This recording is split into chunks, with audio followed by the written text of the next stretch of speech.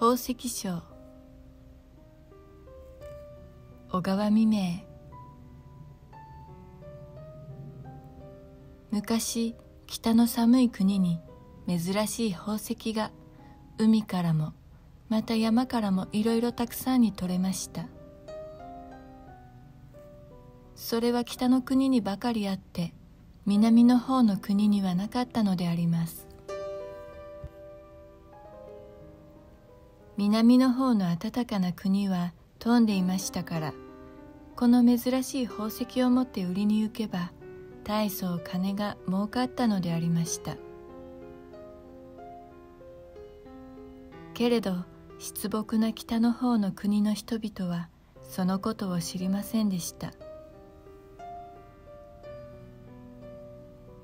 また遠い南の国へ行くにしても幾日も幾日も旅をしなければならない。船に乗らなければならないしまた車にも馬にも乗らなければならなくて容易のことではなかったのであります。ここに知恵のある男がありました。その男は北の国のものでもなければまた南の国のものでもなかった。どこのものとも知れなかったのであります。この男は北の国へ行って宝石を集めてそれを南の国へ持って行けばたくさんの金の儲かることだけはよく知っていました。その上男はよく宝石を見分けるだけの目を持っていました。男は人儲けしようと思って北の国へ参りました。北の国はまだよく開けていなかったのです。高い険しい山が重なり合ってその頭を青い空の下に揃えています。また紺碧の海は黒みを含んでいます。そして高い波が絶えず岸に打ち寄せているのでありました。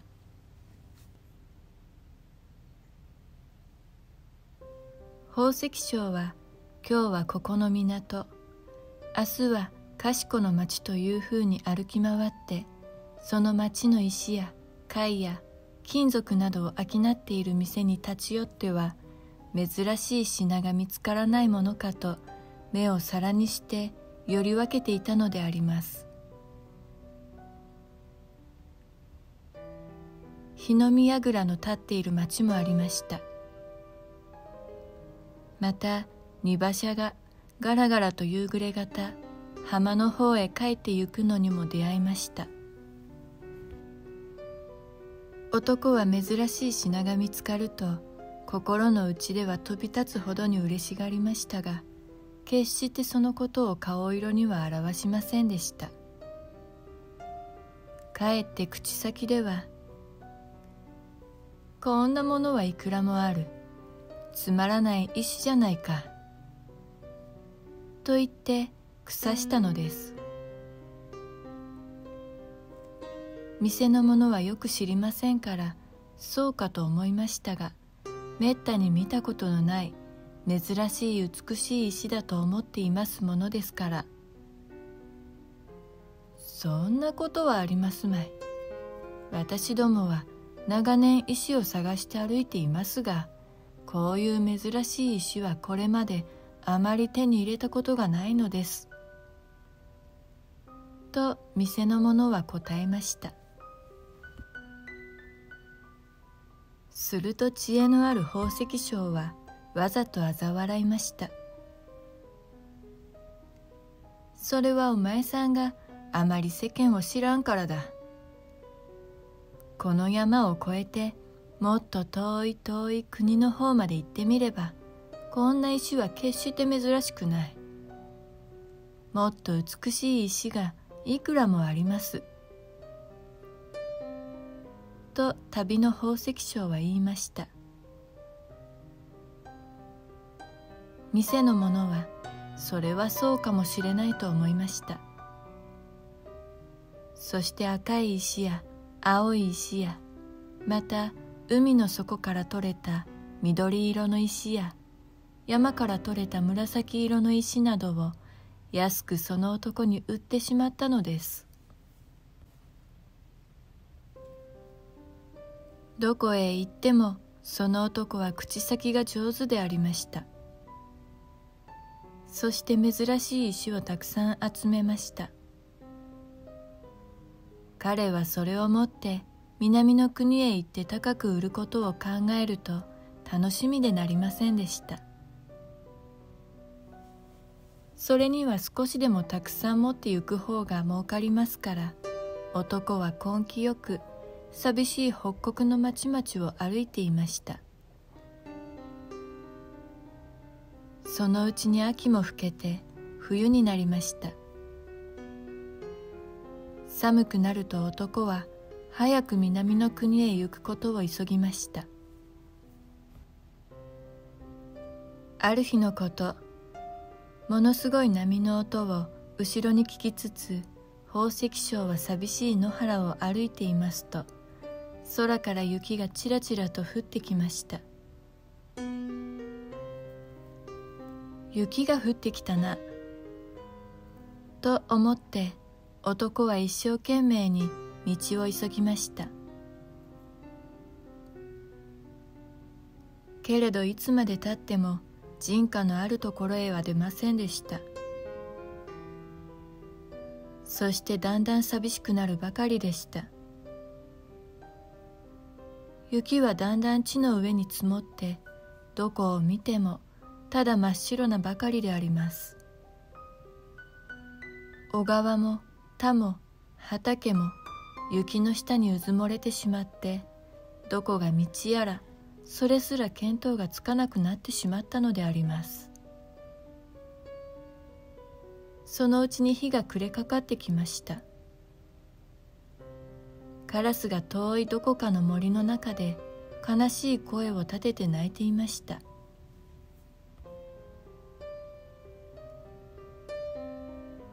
男は早く町に着いて湯に入って温まろうなどと空想をしていたのでありますが今はそれどころでなく全く心細くなってしまいました。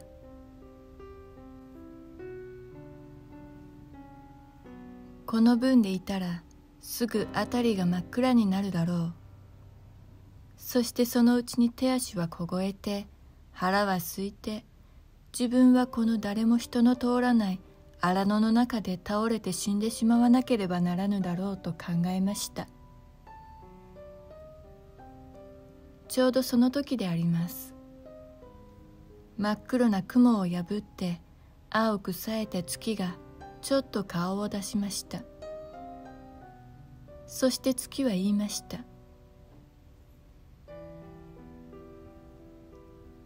お前がこの北の国の宝をみんな南に持って行ってしまう。その罰だ。海も山もその宝が他の遠い国へ行くのを悲しんでいるのだ。と月が透き通る寒い声で言ったのです。宝石商はびっくりして空を仰ぎますとすでに月は真っ黒な雲の中にその顔を隠してしまいました。宝石商は本当にびっくりしました。自分が何も知らない証人を騙していろいろ珍しい宝石を手に入れたものですから心の中ではあまりいい気持ちがしなかったのです。寒さは募るばかりでありました。そして腹はだんだん空いてきました。もはやこの荒野の中でのたれ死にをするより他になかったのでした。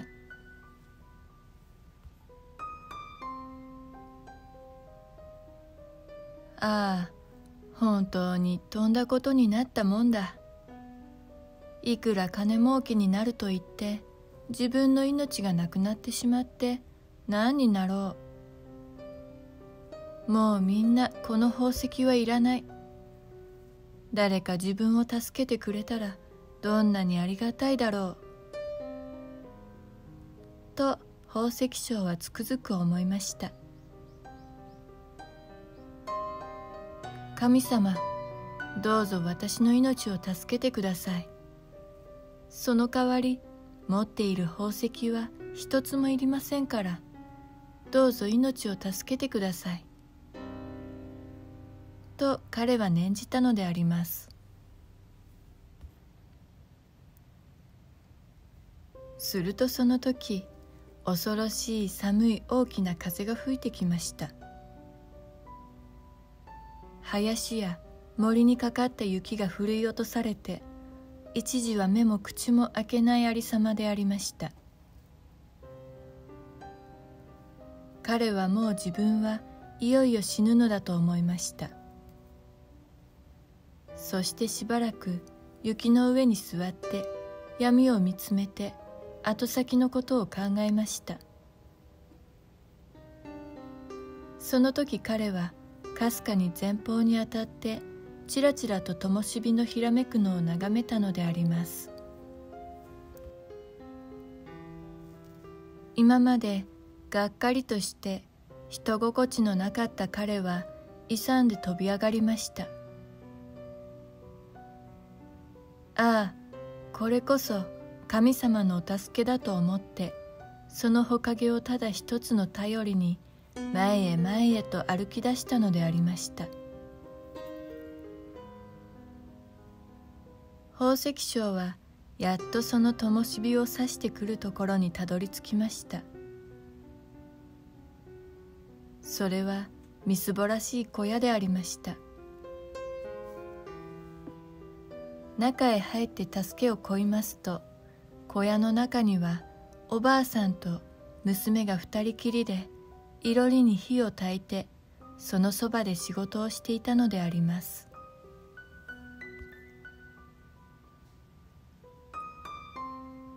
宝石商は自分は旅の者で野原の中で道を迷ってしまってやっとの思いでここまで来たのであるが一夜泊めてもらいたいと頼みました。おばあさんと娘はそれはお気の毒なことだと言って宝石商をいたわり火をどんどんと焚いて凍えた体を温めてやりまたおかゆなどを作って食べさせてくれました。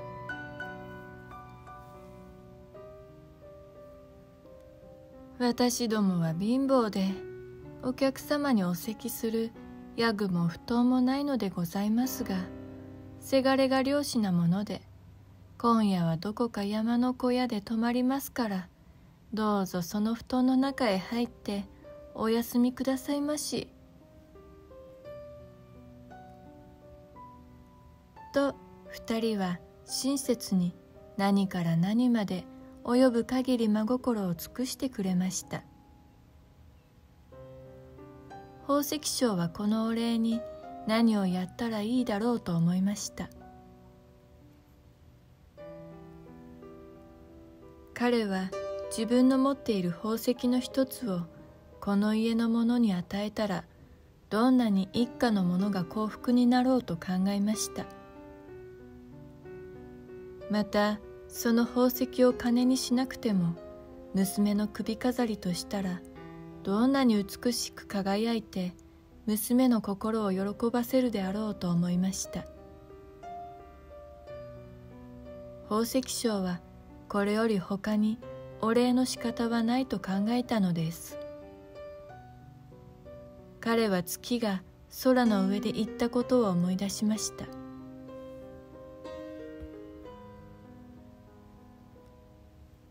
何にしても命が助かったんだ。宝石の一つや二つに変えられない。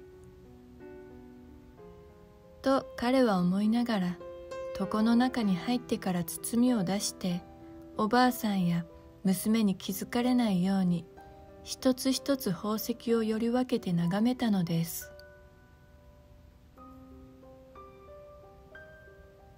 するとさすがに珍しい宝石だけあって赤緑青紫に輝いてどれが他のものより劣るということなく見とれずにはいられなかったのであります。南の国へさえ持って行けば一つが幾百両にもなる品物ばかりだ。これをやるのは惜し。いこんなに高価なものをお礼にする必要はないのだ。どうせ今度来た自分に何か持ってきてやればそれで義理が済むのだ。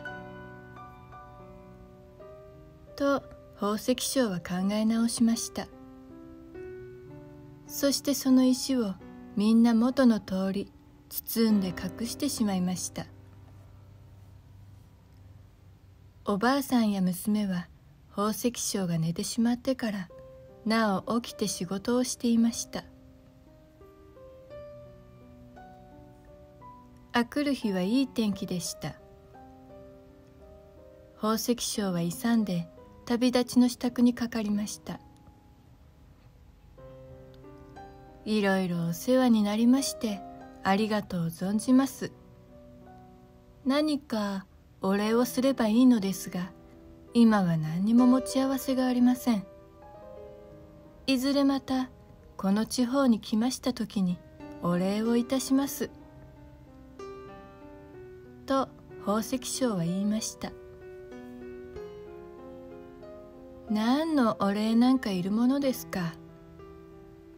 この道をまっすぐにおいでなさると町に出ます。道中お気をつけてお行きなさいまし。と言って二人は見送ってくれました。宝石商はそれから幾日も旅をしました。山を越え川を渡りある時は船に乗りそして南の国を指して旅を続けました。やっと南の国に来てにぎやかな金持ちのたくさん住んでいる町を訪ねますとどうしたことかその町は見つかりませんでした。そしてその後に壊れた壁や枯れた木などが立っていました。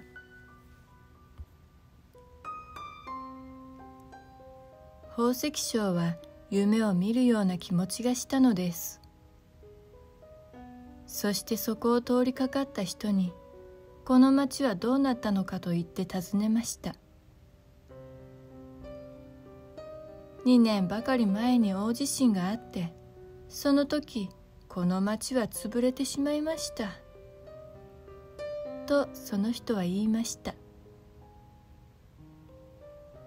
どこへみんな行ってしまったのですか？と宝石商は昔の繁華な姿を目に思い浮かべて尋ねました。みんなちりぢりになってしまったのです。その時死んだ人もたくさんありました。またここからもっと南の方の町に移ったものもございます。とその人は言いました。宝石商はがっかりしてしまいました。せっかくこの町の金持ちを当てにしてわざわざ遠くの北の国からやってきたのに虚しく帰らなければならぬということは残念でたまりませんでした。彼は海岸に来て岩の上に腰を下ろしてぼんやりと海を眺めながら考えていたのです。もっと南の方へ行ったらまた金持ちの住んでいる町があるかもしれない。その町を訪ねて行こうか。と思案に暮れていたのです。その時太陽は西の海に沈みかかっていました。海の上が真っ赤に燃えています。宝石商はまたこれからの長い旅のことなどを考えていました時に不意に大波がやってきました。そしてそばに置いた宝石の包みをさらっていってしまったのです。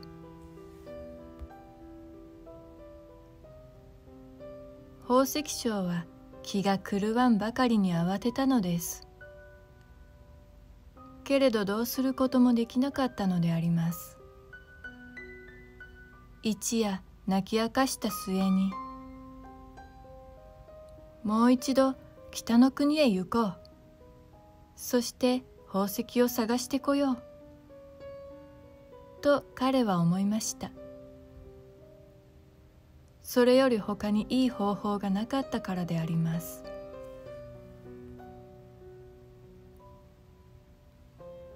宝石商はこの損をきっと償うだけの宝石をもう一度北の国へ行って集めてこなければならないと決心しました。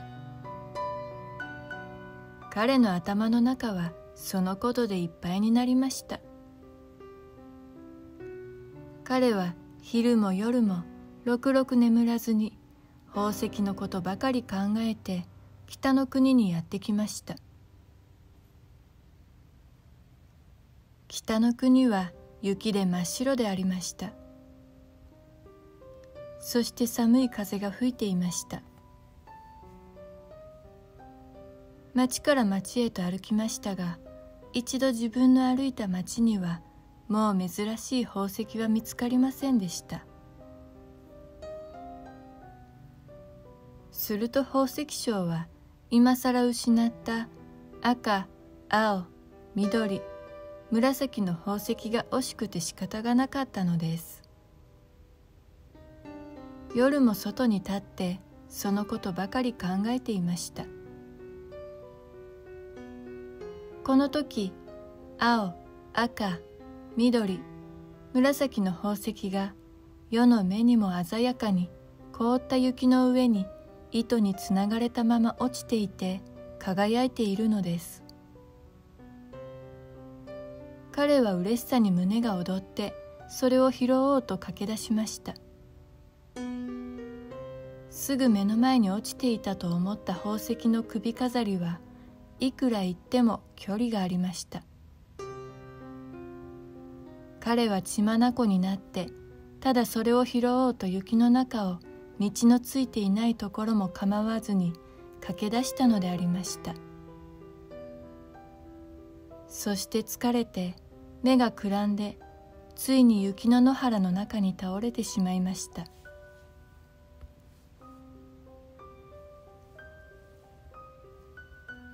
その夜はいつになく空が晴れていました。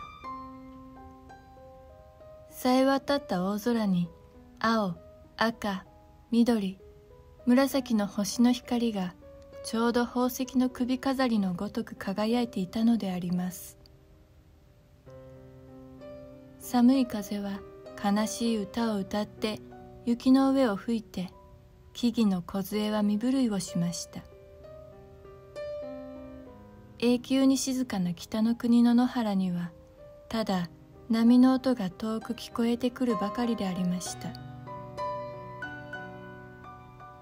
哀れな宝石商はついに凍えて死んでしまったのです。あくる朝野のカラスがその死骸を発見しました。